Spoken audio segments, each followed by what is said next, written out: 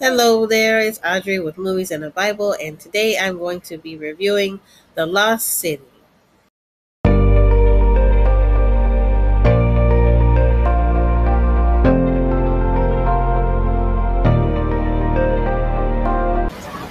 Okay, so Lost City starring Sandra Bullock, Channing Tatum, and Daniel Radcliffe. Uh, let's get into it. So, as always, for these movie reviews, it's either going to be a skip it, stream it, matinee price, or go watch it. And this movie, um, as we saw in the trailer, well, uh, it's a date night movie, and I gotta say that it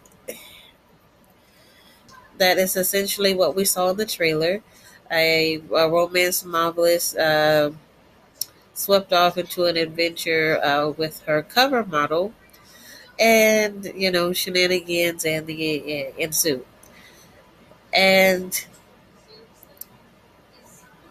this movie is essentially the proposal repackaged, uh, just a different premise. But it's like the it's it really does remind me of uh, the proposal. The characters like Sandra Sandra's uh, playing yet again. You know her her standard character that she plays the hardened the hardened woman, uh, fear of trying new things type of woman.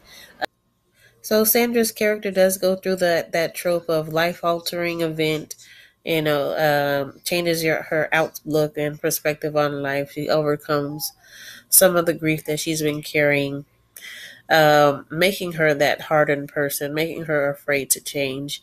And but I really don't feel as though in this particular movie that her character earns it, um, and she moves. it.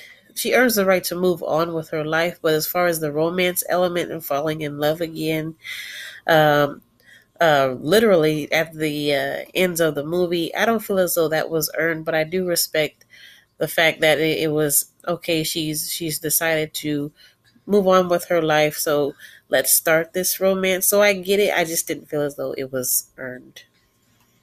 Uh, Channing is there to be the uh, the the love interest, the eye candy of the film, and Daniel Radcliffe, uh, the villain, which um, he wasn't he wasn't given a lot to to do or work with. I mean, I think you could have inserted any any any actor into Daniel's uh, role, and they would have been a serviceable villain.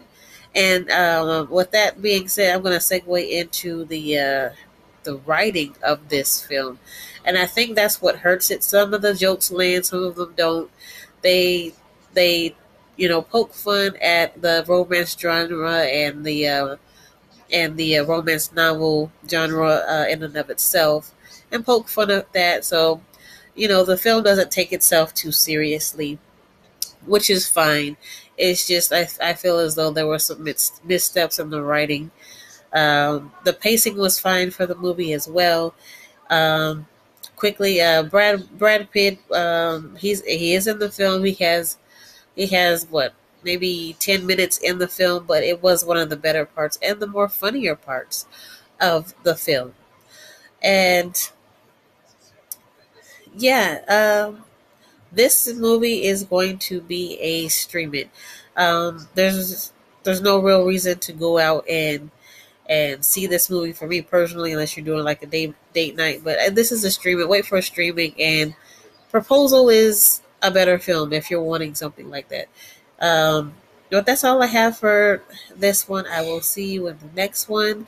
Let me know what you thought about the movie down below. And be safe, be kind, be wise. Bye bye.